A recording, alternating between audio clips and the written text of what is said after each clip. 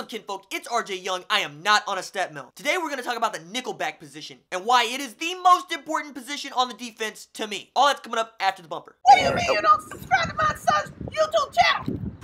Mama, no! Just snap the damn ball, RJ. The nickelback position is the most important position on the field right now. He needs speed to keep up with smaller receivers, he needs strength to shed blocks and make tackles, and he needs power to blow up plays in the backfield. He can be big, he can be strong, he can be fast. He must be dominant. He needs to have the agility to defend pass plays and the tackling ability to defend the run. He's a big safety or a small linebacker and a shutdown corner. Played well, he's the fifth DB in Gary Patterson's 425 or the fifth DB in Charlie Strong's 335. And when Mike Stoops feels like it, he's the sixth DB in his 326. Memphis coach Joe Lee Dunn made the nickel defense popular when he used it to shut down USC's option game. Then when offenses adapted spread formations like the run and shoot, we saw more of 5 and 6 DBs on the field to match up with receivers all over the place. And for folks who don't believe that a 5 DB base is the new norm, all you got to do is ask Nick Saban about his 3-4 scheme, in which he said as far back as August 20th, 2012, that they only run their base 3-4 scheme 20% of the time because there are at least three wide receivers on the field for most teams that they play. They even have a name for that position on the depth chart at Alabama, and it's called star.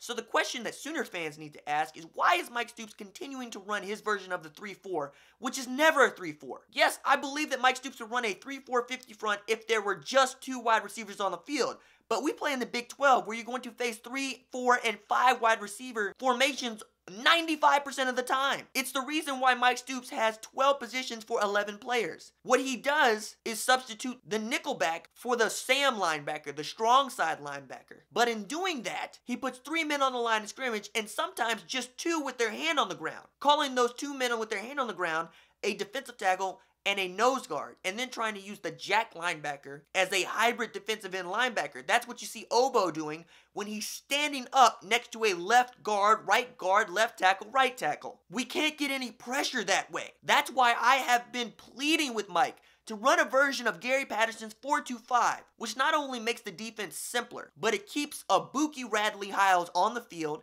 it keeps a Caleb Kelly on the field, and it keeps a Kenneth Murray on the field without us being subjected to wildcat plays where we're just going to get gashed up the middle because we have nothing to spearhead it. You're begging teams to take us apart by just running ISOs. That is a pee-wee football play that we should all be able to defend. And if I know it and you know it. Why continue to run your hybrid version of a 326? It doesn't work. Food for thought. All right, that's it for me. If you like the videos, don't forget to like and subscribe. I'll see you tomorrow. Deuces.